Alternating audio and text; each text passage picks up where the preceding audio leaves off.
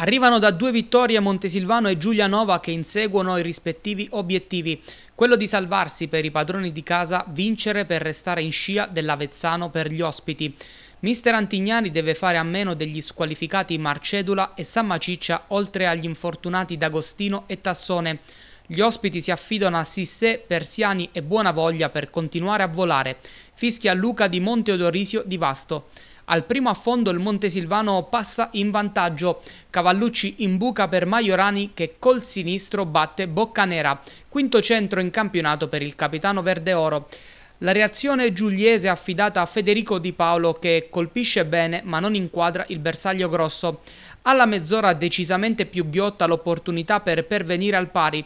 Ubertini risponde presente sulla conclusione di Di Paolo. L'azione prosegue e buona voglia calcia a colpo sicuro trovando il miracolo del portiere di casa.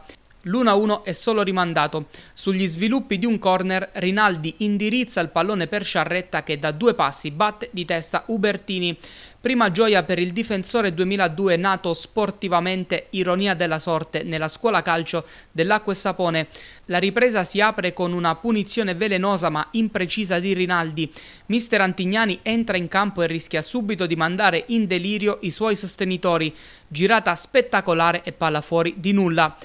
A metà frazione il Montesilvano resta in 10, doppio giallo per Besim Maloku che lascia i suoi in inferiorità numerica. Mister Cerasi mette in campo tutta la qualità che ha in panchina per vincere la gara.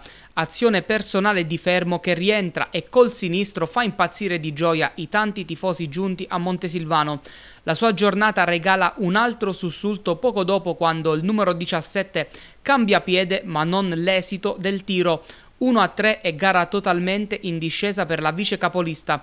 I giallorossi nel finale dilagano grazie prima a Cappelli che finalizza il suggerimento di Sissé e poi con Africani che parte sul filo del fuorigioco e con un elegante pallonetto scrive il definitivo 1 a 5 sulla partita.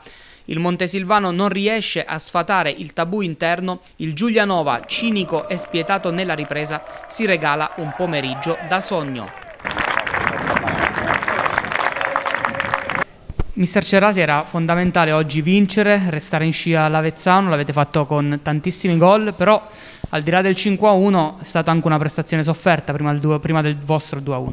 Sì, è stata sofferta uh, perché noi uh, sapevamo pure della, della, forza loro in casa, ma um, hanno, messo pure in difficoltà diverse formazioni che sono venute qua. Uh, è una squadra giovane pure loro che fanno della corsa, fanno del dinamismo, fanno della, della, del ritmo, del, dell'intensità, le loro armi. temevamo tantissimo questa partita, quindi non, non è stata facile, anche se il punteggio può sembrare così rotondo ma eh, loro sono passati in vantaggio eh, su una nostra disattenzione però è stata una partita complicata pure eh, a livello proprio di campo di trovare l'ultimo passaggio di trovare quel fraseggio che noi di solito eh, riusciamo a fare e qua abbiamo fatto fatica.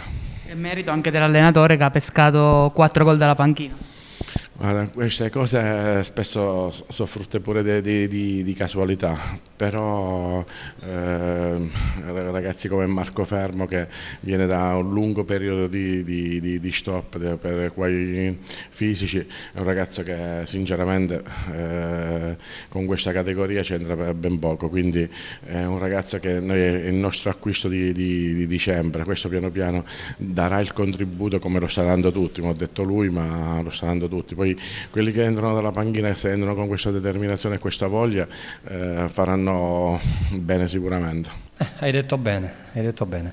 Ha pescato i gol dalla panchina, come al solito io sto qui a ridire sempre la stessa cosa, siamo una squadra molto giovane, loro giovani forse più di noi, forse, no forse, correvano più di noi, e hanno un pizzico in più di, di cattiveria, quattro gol del secondo tempo poi la dicono lunga dopo l'espulsione di Malogu, dopo che abbiamo subito un paio di falli non eh, giustamente fischiati e alla prima noi ci buttano fuori subito il giocatore, ormai è sistematico, e, ma non è questo l'alibi del risultato, il risultato ci sta perché sono più forti, se stanno secondi un qualcosa in più tanto ce l'hanno è brutto perché perdi con 4 tiri in porta, la partita poteva finire solo 2 a 1, ho avuto l'occasione io se vai sul 2 a 1 un'altra partita e gli episodi purtroppo ci condannano, però cioè, non eravamo fenomeni domenica scorsa a Città Sant'Angelo, non è che siamo brocchi oggi, la squadra nostra è questa, una squadra, ho sempre detto, che può